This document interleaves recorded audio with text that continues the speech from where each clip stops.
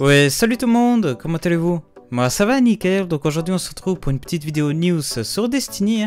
Donc on va parler de la dernière TWAB qui est sortie ce jeudi soir. Bon, je dis TWAB mais maintenant c'est la Tweed. Et bon bah de quoi elle va parler cette TWAB Elle va surtout parler de Solstice des qui va arriver très bientôt sur le jeu. Et bon bah je vais vous faire un petit récap de toutes les infos qu'on a. Bon en tout cas j'espère que cette petite vidéo vous plaira, donc si c'est le cas, n'hésitez pas à mettre le petit pouce bleu et vous abonner si pas déjà fait, ça m'aide beaucoup. Et c'est parti, bon bah déjà on va passer au niveau de la première info. Et bon bah quand est-ce que ça va commencer le solstice des héros Et bon bah ça va commencer mardi prochain. Et comme pour chaque solstice, on a un événement à farmer dans la ZME et qui change pas, ça fait des années que c'est toujours le même event, c'est un peu dommage. Ça serait cool de changer un peu de zone, mais bon, ça sera pas le cas cette année non plus. Hein. Et avec, on va pouvoir farmer une arme ainsi qu'un set d'armure pour chaque classe. Et en parlant d'armure, je vous montre à l'écran un petit aperçu de celle-ci. Moi, je vous ai déjà fait une publication sur YouTube et n'hésitez pas à donner votre avis en commentaire. Mais personnellement, je les trouve très belles. J'ai hâte de voir ce que ça va donner in-game directement. Et bon, j'ai clairement une préférence pour l'arcaniste et le titan. C'est vraiment magnifique. Et maintenant on va passer au niveau de l'arme qu'on va pouvoir farmer cette année. Et bah ça sera un rocket fil obscur. Donc je vous mets l'image à l'écran. Bon en termes de skin je le trouve très réussi. Hein. C'est à l'image des armures il est très très beau. Par contre en termes de, de bah, on a déjà les perks et franchement c'est pas foufou, on va pas se mentir, je trouve ça très dommage. Et donc là je vous les mets à l'écran, donc la troisième colonne elle est très bonne, il y a de très bons choix. Par contre au niveau de la quatrième colonne c'est un peu compliqué, on va pas se mentir.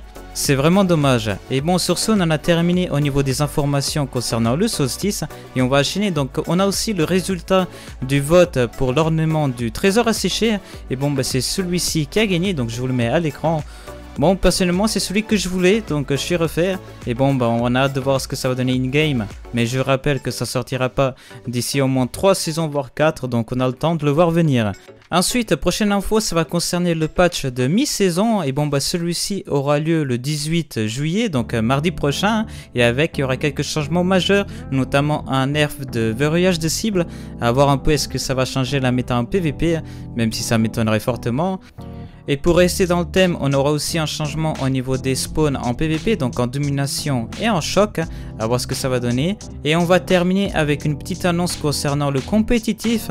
Bon, il n'y a pas de date précise pour l'arrivée de cette mise à jour par contre, mais Bungie nous annonce un changement au niveau du matchmaking de celui-ci. Alors actuellement, comment il marche? C'est très simple, il y a juste un SBMM.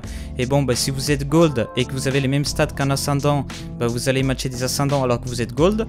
Et du coup, ça ne ressemble pas du tout à du compétitif. Hein. C'est vraiment, si c'est pour nous matcher directement des ascendants, bah mettez-nous directement ascendants, quoi. Ça n'a aucun sens. Et bah dorénavant, justement, ils vont mettre cette fonction lorsque vous allez terminer vos games de classement. Et par exemple, vous allez terminer gold, bah vous allez matcher des gold et ainsi de suite au fur et à mesure que vous montez en grade. Bah, au bout d'un moment, vous allez matcher bah, que des platines ou que des experts jusqu'à ascendant.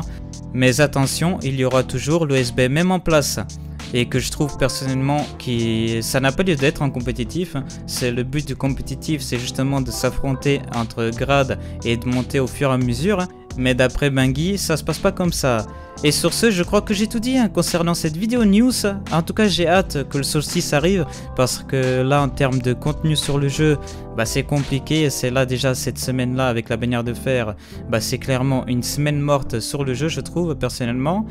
Et j'ai hâte un peu de découvrir ces tenues, surtout hein, que j'ai hâte d'acheter directement avec de la poussière brillante.